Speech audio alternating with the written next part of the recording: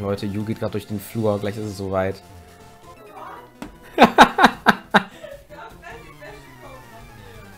Jetzt will sie schon den Wäschekorb nach mir werfen. Oh, oh, oh. Oh, oh. Da ist er schon im Türrahmen. Nein. Ein Kabuto, das hätte ich gerne. Hättest du auch gerne ein Kabuto, Yu? Es ist einfach gegangen. Ich habe verkackt.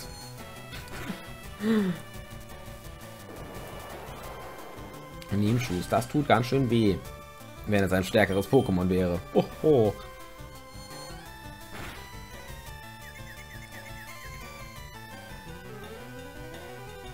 Ich meine nicht Bianca, ich meine Sandra. Bianca heult nur. Und gibt den Orden dann nicht. Also beziehungsweise gibt den Orden einen sofort, äh, nachdem man sie nochmal anspricht. Aber Sandra sagt so, nö. Da liegst du, da bist du falsch informiert. Sandra ist diejenige, die einen zickig den Orden nicht gibt. Bianca ist einfach nur eine Holzuse. Ja, Cynthia ist definitiv episch. Kabuto ist Garbage? Dein Gesicht ist Garbage. Was ist los? Aber was will ich von jemandem erwarten, der einen Cleopatra als Avatar hat?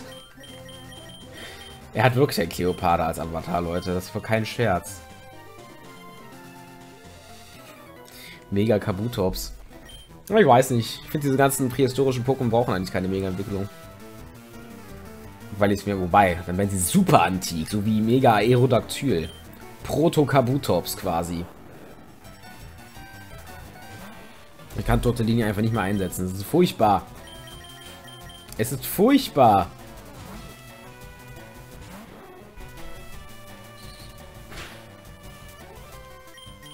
So.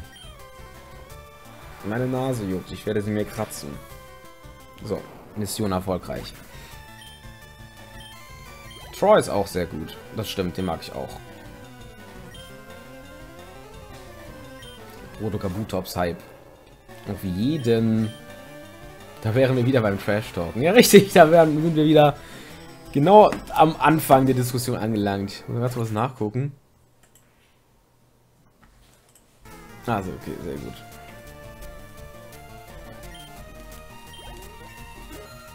Bling. So ein Mist.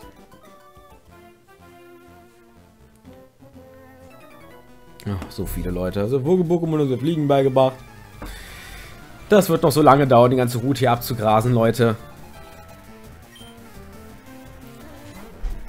Ja, Vasilis Design in Oras mag ich auch nicht, ehrlich gesagt. Nicht wirklich. Sein altes war wesentlich epischer.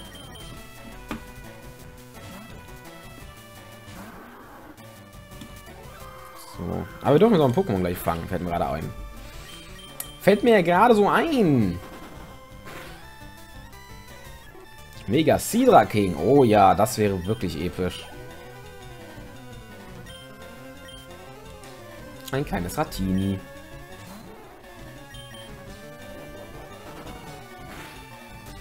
So vor vier bis fünf Jahren hast du mal Wario Land 4 angekündigt. Kommt das noch? Bestimmt irgendwann mal, keine Ahnung. Ja, da wird es mir aufgefallen. Ich habe es im Trailer alles äh, Let's Played, bis auf Wario Land 4, glaube ich. War das einzige, was ich tatsächlich dann nicht gemacht habe.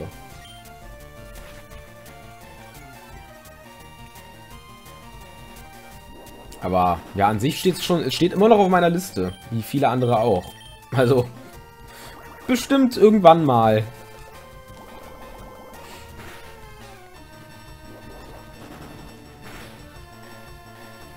So.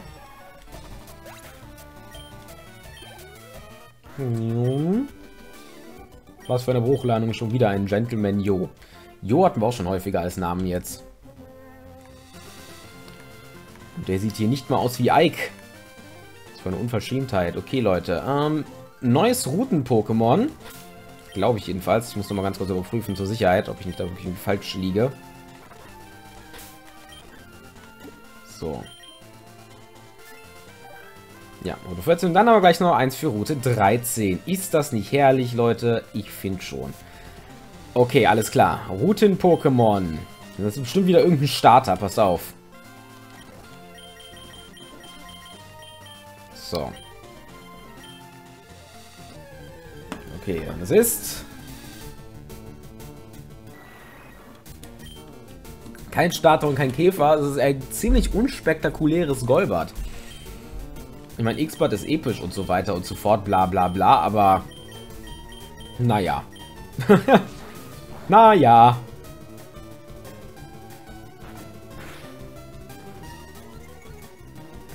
Ich meine, ist ja so... X-Bot ist wirklich ein gutes Pokémon, vor allem so für ein Playthrough, aber irgendwie hypt es mich nie, wenn ich einen X-Bot oder ein, äh, wenn ich einen Super oder einen Golbat so wirklich sehe. Oh. Heurika. Ich wollte eigentlich jetzt die ganze Zeit mit Zahnstocher... Mit Zahnstocher? Mit Zornklinge. Zahnstocher. Ja, genau so heißt die Attacke. Ja, bei dem Schaden, der da gerade verursacht wurde, hätte man schon fast vermuten können, ne? Aber trotzdem, naja. Ist halt so ein Pokémon, was du eigentlich überall finden kannst. Dann allerdings wiederum nicht, weil du bedenkst, dass wir eine Nuzlocke, eine Randomizer Nuzlocke spielen. So, bam. Ich sehe gerade, ich bin 11 Level höher. Ich hoffe, der überlebt das. Gut.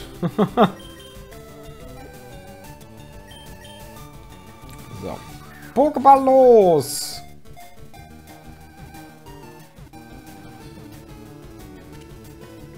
Ich will eigentlich nur Mega Krebutak, weil dann wäre Krebutak quasi, das wäre das letzte, was ihm fehlen würde, um den Schritt ins Overuse zu, zu schaffen, bestimmt. Wenn es dann wirklich besser wäre als das normale Krebutak, das ist ja leider nicht immer ungefähr gesagt, ne? Dieses Pokémon sorgt dem Gegner selbst dann noch Energie ab, wenn es schwer zu, zu schwer zum Fliegen wird. Ii. Ich habe gerade eben schon einen tollen Namen hier gesehen. Lakritz. So. Lakritz wurde auf Bills PC übertragen. Wunderbar. Ich muss mal zurückgehen und mich heilen, Leute. Einfach so wildes Glurak. Okay. Dann. Ähm, ich habe schon sehr oft gesagt, Golbat wäre so ein Pokémon, was ich niemals sehen wollen würde im echten Leben. Ihr müsst ja bedenken, Golbat ist ja eigentlich nur ein Kopf. Und der Mund ist quasi komplett geöffnet. Das heißt, ihr könntet eigentlich seine ganzen Innereien sehen. Oder, oh, was meint ihr, wie eklig das aussehen müsste, wenn man da reinglotzt? Igitt. Muss nicht sein. Hatten wir Lakritze nicht schon? Nee. Echt? Seid ihr sicher? Lakritz Ariados? Naja gut, dann haben wir jetzt zwei Lakritz. Ist sein Zwillingsbruder.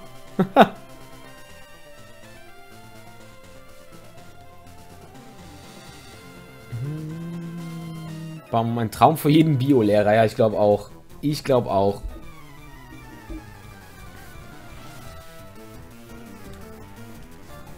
Ich habe Dinge gesehen. Ja, das würde man dann jedes Mal sagen, wenn man reingucken müsste in ein Golbart. Blam.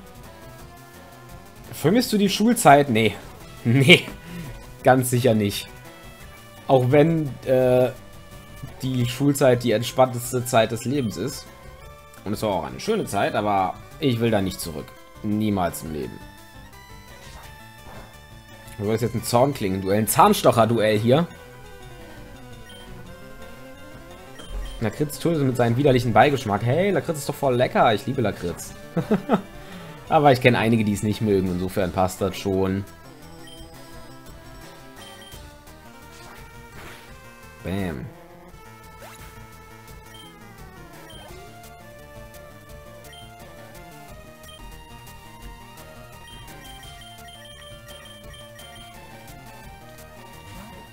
Na doch, glaub mir. Auch wenn du Abi machst, ist die Schulzeit entspannter als das, was danach kommt. Definitiv. Bin ich, lege ich meine drei Hände für ins Feuer. was nicht heißt, dass es einfach ist, das habe ich nicht gesagt, aber es ist was anderes. Zack, zack, zack, zack. Uh, das Ding wohl einfach weggeklatscht.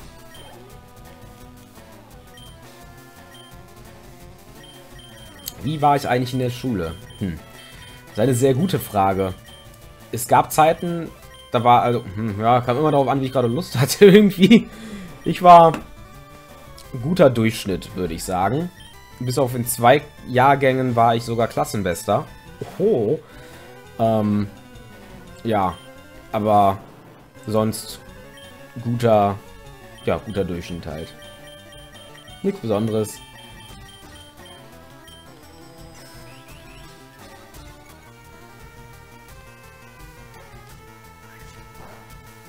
Um mein Lieblingskuchen. Die Buttercremetorte meiner Oma damals. Absolut.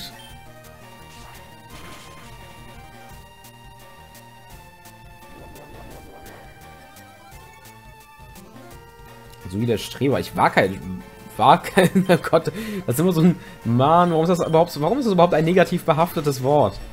Das stimmt gar nicht. Ich habe eigentlich für vieles gar nicht... Also vieles habe ich halt... Lag mir halt einfach. Da musste ich ja noch nicht viel lernen. Sprache vor allem. Deutsch vor allem. Ich habe in Deutsch nie gelernt, war trotzdem immer da. Mit sehr großem Abstand äh, der Beste in der Klasse.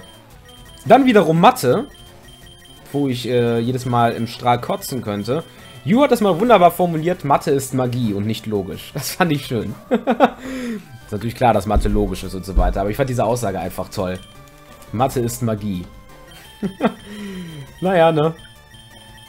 Manches fällt einem halt einfach so zu, weil es einem liegt und bei manchen lernt man wie bekloppt und schafft trotzdem nur durchschnittliche Leistungen. So war es bei mir. Das liegt aber auch, glaube ich, ganz stark am Interesse. Also wenn man kein Interesse an etwas hat, dann ist man, glaube ich, auch automatisch, also tut man sich mit dem Lernen schwerer und, oder ist generell nicht so gut da drin. Und was von mir, ich finde Mathe halt unheimlich uninteressant. Also ich finde, glaube ich, nichts uninteressanter. Und deswegen, ja, hatte ich da auch keine Lust, mich da so reinzuknien irgendwie. Beziehungsweise konnte es halt einfach, einfach nicht so wirklich. Deutsch wiederum habe ich geliebt, jedes Mal wieder, auch wenn wir da den schlimmsten Lehrer der Schule hatten. Aber es war genau mein Ding einfach. Und da habe ich auch nie gelernt. Habe trotzdem immer äh, gute Noten gehabt. Deswegen, naja.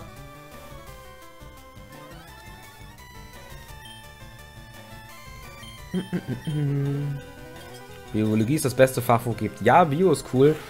War cool. Ähm, lag aber auch sehr stark am Lehrer. Bei uns jedenfalls. Also, wir hatten zwei Jahre einen Lehrer, da war das so unglaublich langweilig. Was schade ist, weil das so ein unglaublich interessantes Fach ist eigentlich.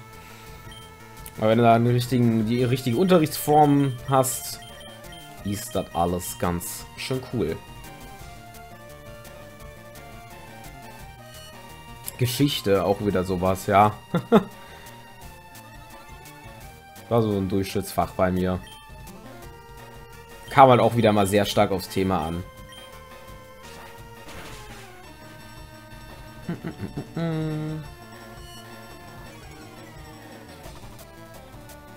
Der normale Bürger findet das Erklären von Prozessen mit Zahlen und Variablen ihm langweilig. Das ist ein natürlicher Abwehrprozess. Schöne Erklärung. Aua.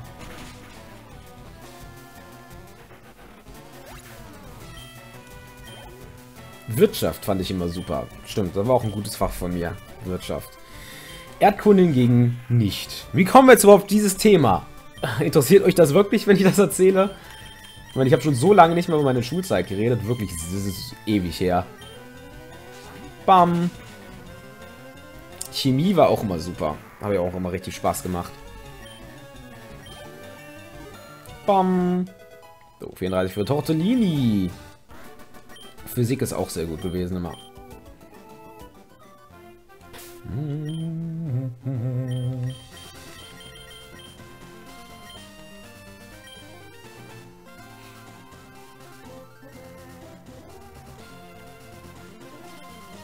Krass. also das ist wirklich so interessiert, ja gerne. Kann ich natürlich weitere Anekdoten bringen. Hintergrundmaterial für Fanfictions. Ah, ich verstehe schon, ich werde ausspioniert. also deine Erdkunde mochte ich nicht. Überhaupt nicht. Auch wieder sowas interessiert mich einfach nicht. Klingt vielleicht stümperhaft, aber ist halt so. Kann einen ja nicht alles interessieren, ne? Warst du sehr sportlich? Ich war im Sport immer gut. Ich hatte immer eine 2 in Sport. Ich hatte nie eine andere Note. Immer eine 2. War das auch super einfach. Ich verstehe auch nicht, wie man... Upsala, scheiße. Ich verstehe immer nicht, wenn man Sport schlechter als 2 stehen kann. Du musst halt nur mitmachen. Wenn du mitmachst, kriegst du schon eine 2. Das war's.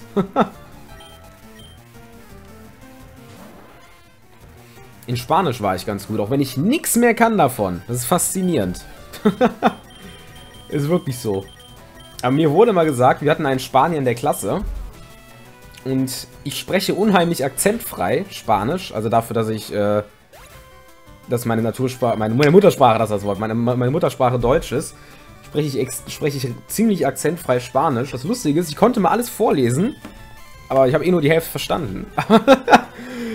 ich kann ja mittlerweile, ähm, ich kann fast gar nichts mehr in Spanisch. Das ist ein bisschen traurig eigentlich. Ich war nicht schlecht. Naja. Sport LK. Okay, Leistungskurs Sport sah, sah ich nicht. Das kann ich mir gut vorstellen, dass man da noch ein bisschen mehr Anforderungen hat.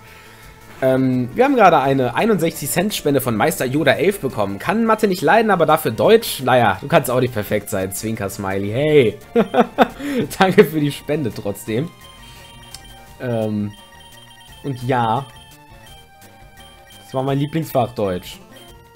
In Sport eine 2 durch bloßes Mitmachen, was für ein Betrug. Das war überall bei uns so.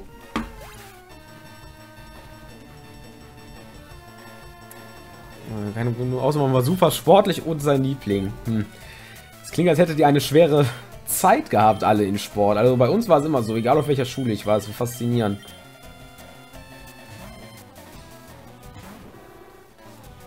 Du setzt Naturkraft ein oder zur Natursprache Spanisch.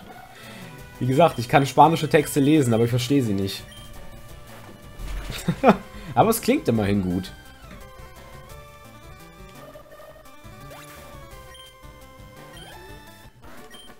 Und ich weiß, war es damals so.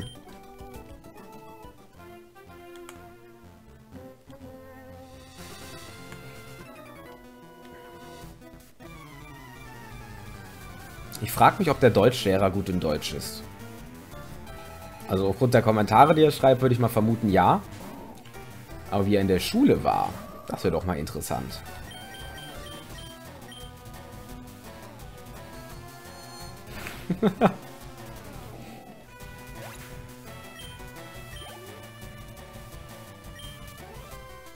Sport war das Grauen. Ich fand Sport immer schön. Außer als wir Volleyball gespielt haben, weil, oh mein Gott, wenn man das nicht in einem Verein spielt, ist man, glaube ich, immer eine Flasche. Und ich war schlecht im Volleyball. Ja, Volleyball. Ich habe gerade kurz überlegt, ob ich es verwechselt habe, wieder mal mit Völkerball, aber nein, Volleyball. Aber Badminton, das ist geil. Ich liebe Badminton.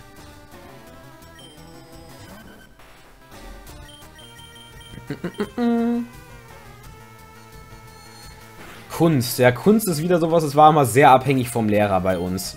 Wir hatten eine Lehrerin, die hatte... Ähm, war ich tatsächlich, seine schlechteste Deutschnote war eine 2 Plus. Wundert mich nicht. Ähm, so ging es mir ähnlich. Ich glaube auch meine schlechteste Note, die ich je hatte in Deutsch, war auch irgendwas mit 2. Also... ja. Wie gesagt, das war voll mein Ding. Interpretation und so weiter alles Mögliche, was damit zusammenhängt. Zeitformen, Grammatik, Stilmittel, Sachtextanalyse. Ja, selbst sowas. Ja, ich mag Textanalyse, Leute. Das hört man auch nicht oft, glaube ich, aber ich stehe da voll drauf. ah, 91 Cent von Anonymous. Hattest du Religionsunterricht oder hast du dich davon befreien lassen? PS, runde Zahl FTW. Danke für deine Spende, Anonymous als der Name gerade nicht hoffentlich einfach wieder falsch angezeigt wird. Bei jedenfalls steht da Anonymous. Ich hatte Rallye-Unterricht tatsächlich. Das war bei uns aber eigentlich fast immer mehr Philosophie. Also es hieß Rallye, aber ja, mehr Philosophie gemacht. Musik, ja, das war auch schön. Genau, ich wollte was, wollte was zu, wollte was zu, ähm, Sui WTF.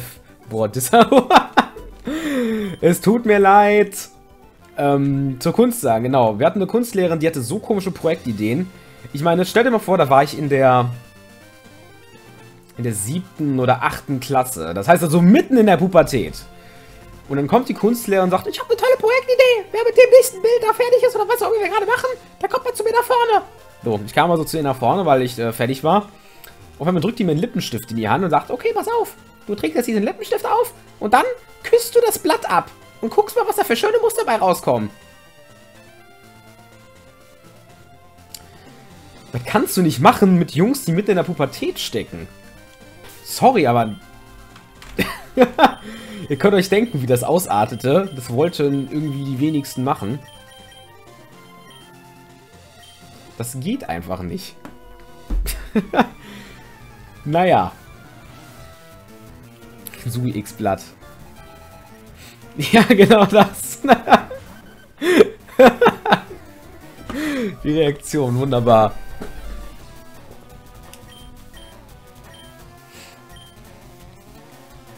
Wir haben dann eine andere Aufgabe zugeteilt bekommen.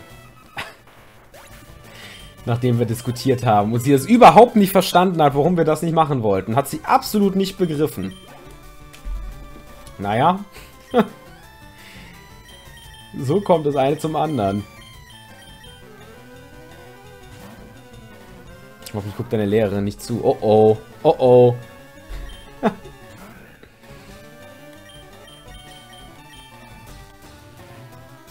War das war bei uns irgendwie generell so ein Ding. Die Kunstlehrer bei uns waren alle ein bisschen strange, sage ich mal. Ich war tatsächlich auch eigentlich immer ganz gut in Englisch. Generell Sprachen liegen mir an sich, auch wenn ich, auch wenn mein Englisch jetzt echt schlecht ist. Das ist auch wieder schade drum, aber das passiert halt, wenn man sich darum nicht kümmert, ne? Aber wir hatten auch äh, die strengste Englischlehrerin da. Viele mochten die nicht, aber ich fand die super. War super lustig. Die Frau Arns hieß sie. Großartig. Auch schon lange nicht mehr im Dienst. Aber, ja.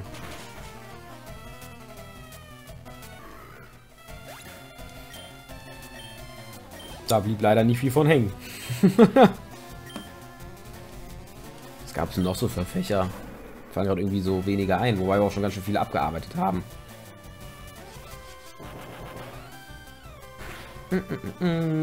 Bam. Wir hatten auch... Ja, von Lehrern kann ich natürlich auch ein Lied singen. Da hatten wir auch alle möglichen lustigen Leute. Ist auch so, dass die Leute, die in Sprachen gut sind, in Mathe schlecht sind, umgekehrt. Ja, das habe ich auch schon beobachtet. Politik! Oh Gott! Furchtbar, so Politik finde ich so schon zum Kotzen. Als Fach kannst du mir damit direkt wegrennen. Nee, nee, nee. Das hatten wir aber Gott sei Dank auch äh, nicht als Pflichtfach. Gott sei Dank. Physik ist schön. Physik war super. Informatik hatte ich natürlich, hatte ich Informatik, ja klar. Und da war ich auch ziemlich gut drin.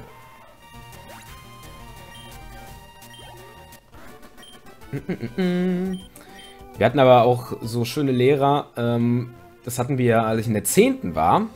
Da hatten wir immer Physik und Mathe direkt hintereinander. Ist jetzt nichts Besonderes. Das Problem ist nur, dass meine Mathelehrerin und mein Physiklehrer, die waren so ziemlich das krasseste Gegenteil, was es überhaupt hätte geben können.